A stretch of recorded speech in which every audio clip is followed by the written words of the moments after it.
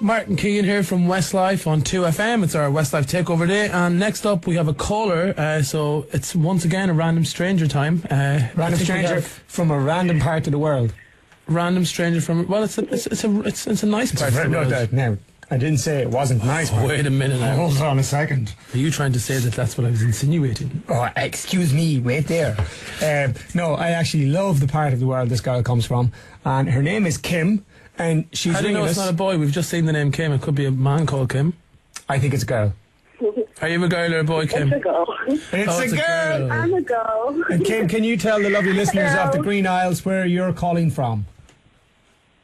I'm calling from Cape Town, South Africa. Cape Town, South Africa. Hey, Love it. love it. Yes. You got the World Cup coming up there very soon.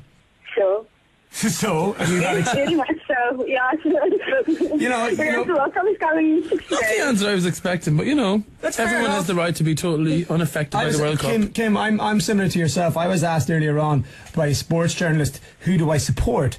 And I, you know, she obviously talking about soccer. Um, and I said I supported my legs and my legs support me. And she looked at me as if I had 50 heads.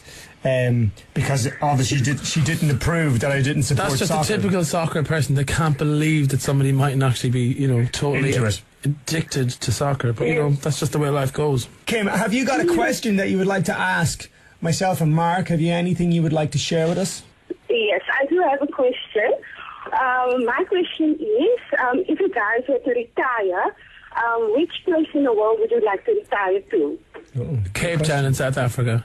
Mike, you just brought Kevin there recently, didn't you, on holidays? Well, we were we had a gig in um in Sun Sun, City. City. which is obviously also in South Africa, and um, I decided to take advantage. We had a week off, so we went out there a week early. So we had a nice time there, just really relaxing. Well, South Africa is kind of it's got the rock and roll side to it. You know, it's not too kind of prim and proper, um, which I love. It's got a lot of culture. It's also got great weather. Um, it's got great nature. So I think it's definitely a good place to retire to. In fairness, you know, I mean, I haven't made my mind up yet. We love South Africa. We hope to get back there very soon, Kim. So, thank you. I hope you do. I'll keep my fingers crossed. Cool. Lovely talking to you, Kim. Take care of yourself now, okay?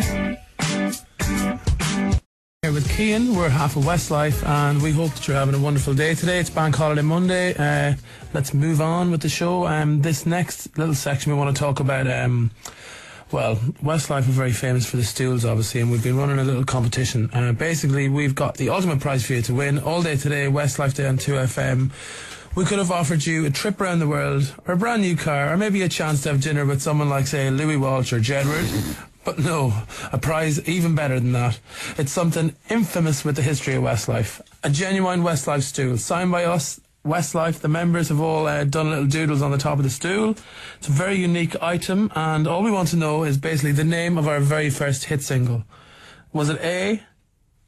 Swear it again. Was it B? Uptown Girl.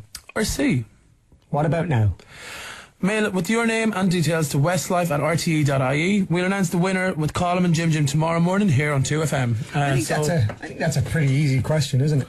Well, you know, I always think, you know, you watch the TV programs and I think they kind of want you to, to make the answer easy. So I Yeah. think we should just, you know, do that because we want people to. I want to give everybody a chance, I suppose. Exactly, yeah. Yeah. It's not rocket science, you know. Our first single, I think it was March 1999. Was it March 99 we released it in Ireland? April. No, no, you're right. March yeah. in Ireland, March yeah. in Ireland, yeah, yeah. Anyways, enough of that old. That old winning a West Yeah, yeah. Do you, do you want to um, pick a song? Yeah, you know, like you're talking about nostalgic songs, and you know, going through the the, the playlist, uh, every song I seem to mark out is a is a personal favorite. They're all kind of taking me back to my childhood.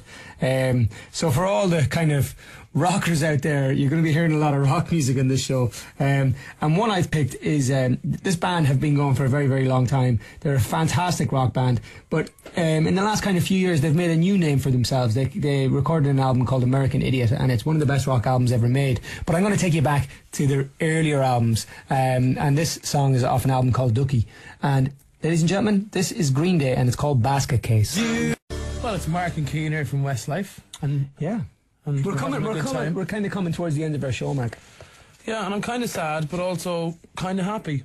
For no reason, really. It's just the way I am No, right now. What it is is that you're sad that you're coming off the show, but you're happy in general. That it went well, yeah. Yeah, it's been Um, enjoyable. I think. I think. I was listening to, to Nikki and Shane this morning, and they were very hyper. They were very like, ah. think we've been a little bit more chilled out, a little bit more relaxed. See, this is like the drive time show, and they were like the morning time show, you know. So Yeah. it's time for one more song before we bid you farewell this afternoon or this evening. Um, and this song is produced by Mark Ronson, and it was on his album called Version. Um, and the vocal is by Lily Allen, who's one of my favourite sort of pop artists in the UK. And this song is called Oh My God. 2FM, we've had a great time today. Thank you very much for listening. Mark and Kian over and out. See ya.